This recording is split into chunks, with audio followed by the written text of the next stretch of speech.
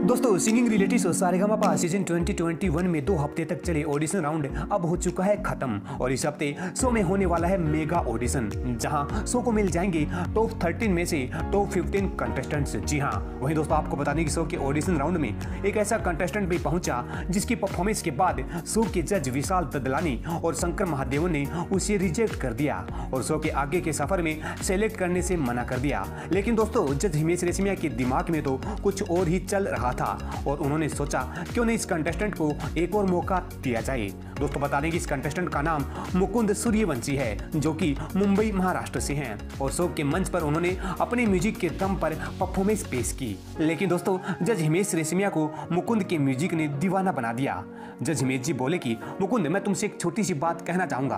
तुम अपनी आवाज़ के लिए, अपने रेंज में अगर कोई कंपोजिशन करोगे और वो गाना बाहर रिलीज़ होगा तो सुपरहिट होगा। तुम एक कमाल के म्यूजिशियन हो। तो मैं चाहता हूँ कि तुम कोई ऐसा गाना गाओ जो तुमने सोचा है कि ये गाना सिर्फ़ मैं गा सकता हूँ। उसके बाद दोस्तों मुकुंद ने बताया कि मैंने कॉलेज के लिए एक गाना कंपोज किया था और जब दोस्तों मुकुंद ने अपना कंपोज किया हुआ गाना, रातों को जगा दे बंदे, गाया तो हर कोई हैरान रह गया। जी हाँ दोस्तों, और वे शो में आगे बढ़ने के लिए सिलेक्ट हो गए। दोस्तों जज हिमेश रेशमिया ने मुकुंद के म्यूज़िक को महसूस कर उनके टैलेंट को पहचान लिया और जिसकी वजह से अब मुकुंद शो के मेगा ऑडिशन में भी परफॉर्म करते नज़र आएँगे।